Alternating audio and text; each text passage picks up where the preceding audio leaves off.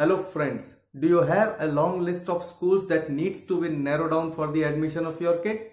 Then this is the perfect video for you. By keeping various important parameters in their mind, our education experts have given list of some of the best schools of your city in this video.